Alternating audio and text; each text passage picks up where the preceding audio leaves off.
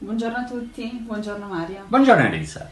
Il primo settembre è iniziato l'autunno meteorologico. Che brava, sei Eh. acculturata, mi Ho fa studiato, piacere. sì, La sì. mia meteorina sta migliorando giorno dopo giorno. Sì, eh. quindi beh, volevo sapere questo settembre, almeno i primi dieci giorni, come, come Mm. sarà. Va bene, sì, i primi dieci giorni te le concedo. Dai, allora, diciamo che è già iniziata una fase atlantica, le temperature sono calate di 4-5 gradi, eh, diciamo che ovviamente la perturbazione che è arrivata ormai ha dato luogo a ampi spazi di sereno su gran parte del centro-nord, è chiaro che se si sta al sole ancora il sole scotta, quindi quelli che dicono ancora fa caldo, ma si mettessero all'ombra si accorgerebbero che Sì, le temperature... prima. Ecco, appunto, Sì, sì. sarebbero senz'altro inferiori a 30 gradi. Ma andiamo con ordine. Domani, eh, 4 di settembre, guarda chi si vede l'anticiclone dell'Azzorre al centro-nord. Non si era mai visto, a settembre arriva l'anticiclone dell'Azzorre. Rovesci temporali sulla Calabria e sulla Sicilia per effetto di quella perturbazione giunta due o tre giorni fa.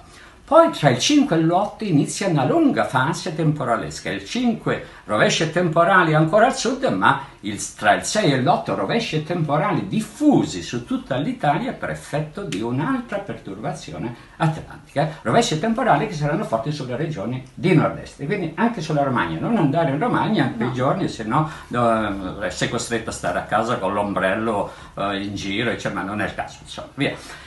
Ma tra il 9 e il 12, guarda, mi spingo due giorni in più di quanto mai chiesto, guarda che sacrificio che faccio. Tra il 9 e il 12 questa perturbazione lascia un vortice di bassa pressione sulle regioni in prossimità dell'Italia, il quale darà luogo quasi tutti i pomeriggi tra il 9 e il 12 a rovesci temporali diffusi sulle regioni centro-settentrionali, quindi ancora anche sulla Romagna, eh, eh, rovesci temporali che ancora saranno forti tra- sulle regioni di nord-est. Quindi ho dato 12 giorni. Almeno fino al 15. Ecco, vedi che tipo, figurati, si faceva fino al 15 mi chiedevi fino al 20. Sì. Vabbè, tre giorni te la regalo, dai, tre giorni te la regalo. Grazie. Allora, tra il 13 e il 15, non ci crederete, arriva in grande spolvero l'anticiclone dell'Azzorre. Per tre giorni, forse anche di più. Ripeto, non si era mai visto. Beh, l'anticiclone dell'Azzorre non porta grandi elevate temperature, porta bel tempo, insisterà al centro-nord, mentre sulle regioni meridionali arriveranno ancora un po' di corrente fresche da Balcani che porteranno ancora qualche rovescio e temporale nelle ore pomeridiane. Vuoi che parla un po' anche delle temperature? Certo, Beh, ah, dicevo, le temperature tanto sono calate di 4-5 gradi ovunque, non leggete più i 33, 34 e 35 gradi, eh, quindi non vi lamentate per favore. Quindi temperature già calate, siamo in prossimi- so- quasi ovunque sotto i 30 gradi, ma attenzione,